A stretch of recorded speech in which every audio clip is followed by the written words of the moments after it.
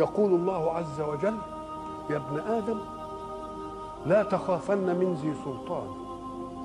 ما دام سلطاني باقيا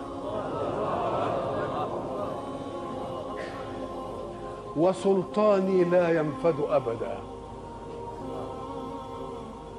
يا ابن آدم لا تخشى من ضيق الرزق. وخزائني ملآنة وخزائني لا تنفد أبدا. يا ابن آدم خلقتك للعبادة فلا تلعب. وضمنت لك رزقك فلا تتعب. اوعى تفتكر تتعب يعني بجوارحك تتعب بقلبك وتنشغل به انت الجوارح تعمل والقلوب تتوكل. الجوارح تعمل والقلوب تتوكل. خلقتك للعبادة فلا تلعب وضمنت لك رزقك فلا تتعب. فهو عزتي وجلالي.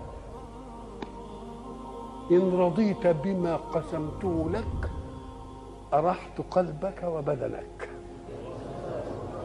وكنت عندي محمودا.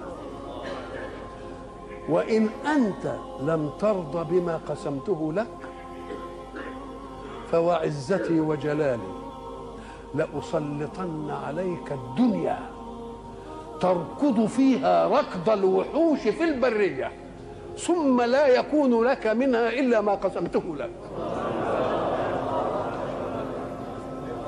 يا ابن آدم خلقت السماوات والأرض ولم أعي بخلقهن أيعيني رغيف عيش أسوقه لك؟ يا ابن آدم لا تسألني رزق غد كما لم أطلب منك عمل غد.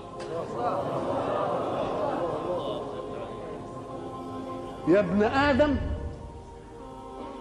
أنا لك محب. أهي دي بتاع ودود بقى. أنا لك فبحقي عليك كن لي محبا.